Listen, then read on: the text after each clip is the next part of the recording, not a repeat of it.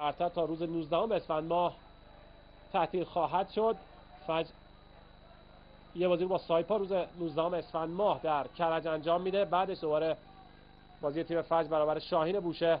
به دلیل حضور تیم شاهین به روز دهم فروردین ماه در همین ورزشگاه موکول شده. فرصت برای تیم فولاد. رضا نوروزی توی دروازه. گل برای تیم فولاد خوزستان. این صحنه آهسته هست. خیلی راحت ثابت توپ شد. بازیکن چارچوب شناسیه همون بازیکنیه که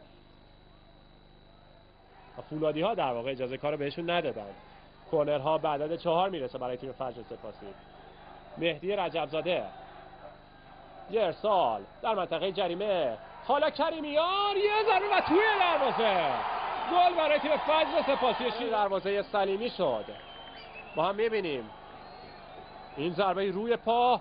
خیلی خوب زد. زنده که تو خورد به یکی از بازیکنهای تیم فولاد. شاکر و موقعیت از دست میره.